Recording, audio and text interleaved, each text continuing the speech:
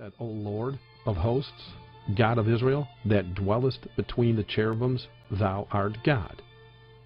Now Isaiah says our God sits between the cherubims while on his throne. But what does the prophet John say about the throne that Isaiah says he's sitting on?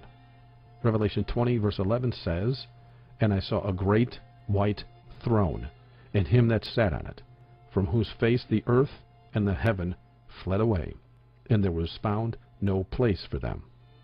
Now, according to the Scripture, not only does our God sit on a great white throne, he sits between two cherubims. Now, notice the following photographs of an actual Roman Catholic Mass in the Vatican. The Christian God truly does know the end from the beginning. His prophetic word proves this rather openly. If you need more information about this man of sin in Rome, feel free to visit remnantofgod.org.